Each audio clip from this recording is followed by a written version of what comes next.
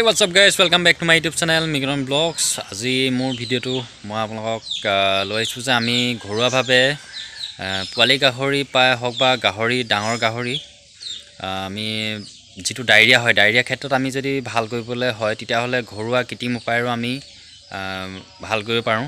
তাৰ ওপৰত আমি পোনপ্ৰথমে যদি আমি যদি আমাৰ মুধৰি আগপাতটো এইটো মোৰ হাতত আছে যিটো মুধৰি আগপাত এই আগপাতটো আমি কেনেকৈ খুৱাব লাগিব কি ধৰণে খোৱালে ভাল হ'ব আৰু কিমান সময়ত খোৱালে ভাল হ'ব অকণমান মই আপোনালোকক কৈছোঁ। যিটো আমাৰ ডায়েৰিয়া হয় সেই ডায়েৰিয়া হোৱাৰ ক্ষেত্ৰত আমাৰ প্ৰথম আমি কেনেধৰণে গম পাম আৰু কি কৰিব লাগিব প্ৰথমতে আমি দানা খোৱাটো প্ৰথম লক্ষ্য ৰাখিব চাব লাগিব। দানা যদি কমকৈ খাইছে বা দানা নাই খোৱা বা আহ, যেতিয়া হাগে সেই পোৱালিকেইটা অকণমান যদি সঘনাই যদি হাগি আছে বা হাগি থাকোঁতে যদি অকণমান ঢিলা ঢিলা হৈছে পাতলা হৈছে যে পোৱালিকেইটাৰ যিটো হাগনি হাগনিটো যদি অকণমান ঢিলা হৈছে তেতিয়াহ'লে সেই মুহূৰ্তত আপোনালোকে ডাক্তৰ বা মানে যিটো আমাৰ মেডি মানে ফাৰ্মেচীৰ যিটো পশু চিকিৎসক যিটো ফাৰ্মেচী সেইখনৰ তালৈ নগৈও আমি ঘৰুৱাভাৱে ইয়াক আমি অকণমান ঠিক কৰিব পাৰোঁ। চাব গ'লে আমি প্ৰথমতে যেতিয়া আমাৰ মধুৰি আগপাতটো আমি ইয়াক কেনেধৰণে দিব লাগিব যিটো ৰাতিপুৱা টাইমকণ ৰাতিপুৱা টাইমকণত আমাৰ ভাল ধৰণে আমি ইয়াক গুড়ি কৰি পিনাই যিটো ৰস ওলায় ৰসটো আমি দানাৰ লগত অলপ মিক্স ভাল ধৰণে কৰি পিনাই দিব লাগিব।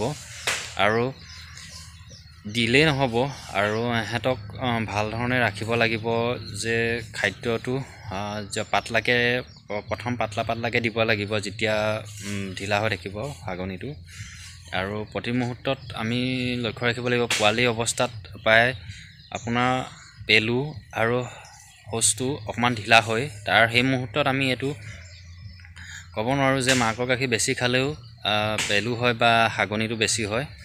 আৰু তাৰ কাৰণে আমি এই ঘৰুৱাভাৱেও আমি কিছুমান ক্ষেত্ৰত সাজু হৈ থাকিব লাগিব। পোৱালিকেইটা সৰু অৱস্থাত আমাৰ যদি এইকেইটা প্ৰব্লেম হয় পোৱালিকেইটা পাছত স্বাস্থ্যটো মানে অলপ শকত বা স্বাস্থ্যটো বনাবলৈ অকণমান গ্ৰ'থটো আনিবলৈ অকণমান যথেষ্টখিনি টান হৈ পৰে। আৰু এনেধৰণৰ যিবোৰ ডায়েৰিয়া পেলু এইবিলাক যেতিয়া আমাৰ পোৱালিকেইটাৰ ওপৰত মানে আহি পৰিব তেতিয়াহ'লে আমি প্ৰথম অৱস্থাৰ পৰা যি প্ৰতিদিনাখনি আমি অকণমান ভাল ধৰণে লক্ষ্য ৰাখিব লাগিব। আৰু এইটো নহয় যে আমি পোৱালিকেইটা যেতিয়া হাগি হাগনিটো হ'ব তেতিয়া নিজে ভাল হ'ব বুলি পোৱালিকেইটাক ডাঠি এৰি দিলে নহ'ব। আৰু আমি ইহঁতক চাই পিনে ঘৰুৱাকৈও আমি যিকণ পাৰোঁ সেইকণ আমি যদি ভাল হয় তেতিয়াহ'লে ভালেই। যদি ভাল নহয় তেতিয়াহ'লে পশু চিকিৎসক ডাক্তৰৰ পৰামৰ্শ ল'ব লাগিব যে কোনটো দৰৱ খোৱালে ভাল হ'ব।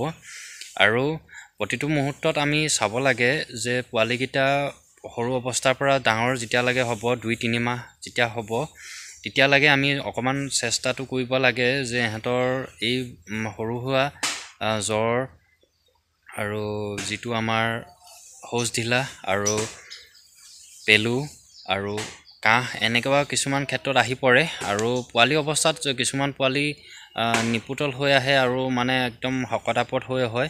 সেইবোৰ হৈছে আমাৰ যিটো আমি নিজৰ স্বাস্থ্যটো আমি কি আমাৰ গাহৰিকেইজনী মাকৰ স্বাস্থ্যটো যদি ভাল ধৰণে ৰাখোঁ আৰু তেতিয়া পোৱালিকেইটাৰ স্বাস্থ্যটো ভাল হৈ আহে আৰু পোৱালিকেইটাৰ স্বাস্থ্যটো ভাল কৰিবলৈ আমি এনেকুৱা কিছুমান ক্ষেত্ৰত চকুবিলাক ভাল ধৰণে প্ৰতিটো দিশবিলাক আমি ভাল ধৰণে চাব লাগিব আৰু প্ৰতি মুহূৰ্ততে আমি এইটোৱেই ৰাখিব লাগে যাতে মানে পোৱালিবিলাকৰ ক্ষেত্ৰতে আমাৰ দানা খোৱাৰ পৰা আদি কৰি আদি বিভিন্ন ধৰণৰ মানে ইহঁতৰ বেমাৰ আজাৰবিলাক ওলা ওলায় আৰু এই বেমাৰ আজাৰবিলাক আমি ভাল ধৰণে লক্ষণ আমি ধৰা পেলাব পাৰিব লাগিব।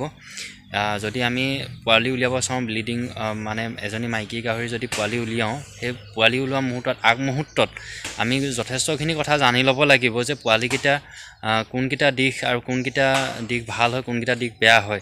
সেইকেইটা কথা আমি জানি শিকি ব্লিডিং মানে যিটো আমাৰ পোৱালি প্ৰডাকশ্যন হয় পোৱালি উলিওৱাটো ভাল। আৰু যদি আমি অকণমান কমকৈ জানো হ'লেও পাছত অকণমান অভিজ্ঞতাৰ পৰা আহিব। কিন্তু আগতীয়াকৈ মই এইটো কথা দাঁতি কওঁ যে আগতীয়াকৈ পোৱালি প্ৰডাকশ্যন উলিয়াব হ'লে পোৱালি যিটো প্ৰডাকশ্যন হয় সেই প্ৰডাকশ্যনৰ আগতীয়াকৈ আমি কথাখিনি গুৰুত্বটো আমি প্ৰথম জানি লোৱাটো অতি দৰকাৰ। নহ'লে পাছত আমাৰ যথেষ্ট অসুবিধা হৈ পৰে কাৰণ পোৱালিবিলাক কিছুমান পোৱালি মাকৰ পেটতে মৰে আৰু মৰা কিছুমান কাৰণো থাকে। যে মাকৰ পেলু হৈছিলে তেতিয়া পোৱালিকেইটা যথেষ্টখিনি অকণমান অসুবিধা হোৱাৰ কাৰণে পোলা পোৱালিকেইটা পোৱালি এটা দুটা বা পোৱালি পেটত মৰে আৰু বাকী পোৱালিকেইটা অকণমান কণ্ডিশ্যনটো বেয়া হৈ আহে। তেনেকুৱা বহুত ক্ষেত্ৰ আহি পৰে মোৰ আপোনালোকৰ ভিডিঅ'বিলাক আৰু মই বনাই দিম বাৰু। এতিয়া আজি সদ্যহতে মই পোৱালি ডায়েৰিয়া ক্ষেত্ৰত বনালোঁ কাৰণে অলপ কথাখিনি অকণমান আগবঢ়াই দিলোঁ। আৰু কথাখিনি মই এইটোৱে এইটো কাৰণে বনাইছোঁ যে মই এতিয়া যিটো আমাৰ ঘৰতে হয় যে মধুৰি গছ প্ৰায় ঘৰত নাথাকিলেও বা মানে ঘৰৰ ওচৰে পাঁজৰে কিছুমান মানে আশে পাশে থকা মধুৰি গছৰ এনেকুৱা আগপাতটো হ'লেই হ'ল। যিকোনো মধুৰি আগপাতে আপুনি যদি পোৱালিক ডাঠি কচু মই যদি খুৱাই তেতিয়াহ'লে আপোনাৰ ডায়েৰিয়াটো যথেষ্টখিনি ভাল হ'ব। আৰু সেই মুহূৰ্তত আপুনি নিজৰ এটা ভাল মানে আপোনাৰ চাব গ'লে যিটো পোৱালি আপুনি চেষ্টা কৰি উঠাইছে যে কষ্ট কৰি উঠাইছে সেই পোৱালিটোৰ স্বাস্থ্যটো আৰু গ্ৰ'থটো যথেষ্টখিনি ভাল হ'ব। সৰু অৱস্থাত এনেকুৱা কিছুমান লক্ষণ দেখা দিব সেইবিলাক অকণমান নিজেও চকু চাই চকু দিব লাগে। আৰু এতিয়া মোৰ ভিডিঅ'টো ইমান দীঘলীয়া নকৰোঁ আজি। আৰু মোৰ ভিডিঅ'টো আজি কেনেকুৱা পালে মোক ক'ব।